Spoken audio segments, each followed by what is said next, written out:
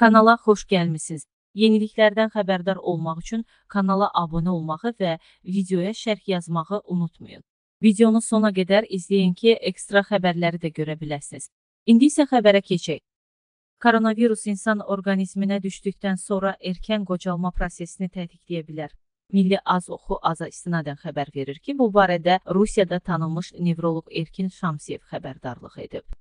Təəssüf ki, koronavirus infeksiyası insan orqanizminə düşdükdən sonra təkcə ağciyərlərin trombozunu deyil, həmçinin digər arzu olunmaz prosesləri, o cümlədən erkən yaşlanmanı işə sala bilər.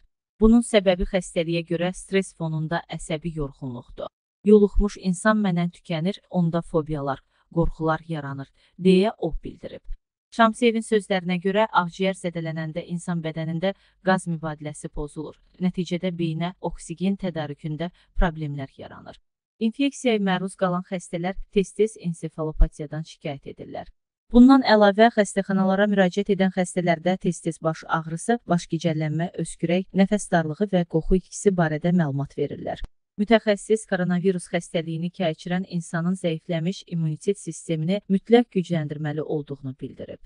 Beləliklə, idmanla məşğul olmalı, düzgün qidalanmalı, artıq çəkidən qurtulmalı, daha çox təmiz havada olmalı, zərərli vərdişlərdən imtina etməli, vitamin çatışmazlığından əziyyət çəkirsə, daha çox tərəvəz və meyvə istehlak etməlidir.